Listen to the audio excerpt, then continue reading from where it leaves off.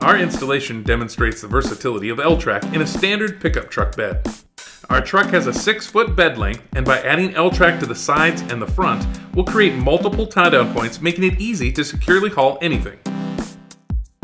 We will begin by installing two 72 inch long rails and one 48 inch long rail, using approximately 40 nuts, bolts, and washers to secure the track.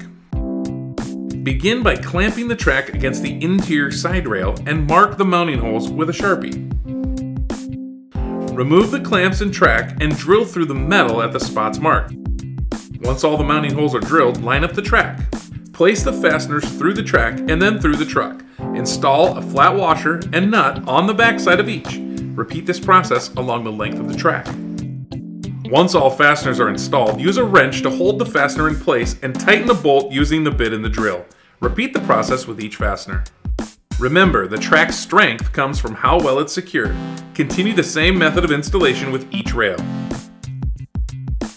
While side lengths of track are a common install method, we also added a 48 inch length across the front of the truck bed to add even more versatility. This provides plenty of tie-down points for securing two dirt bikes without having the straps cross over each other, which causes premature wear on the straps.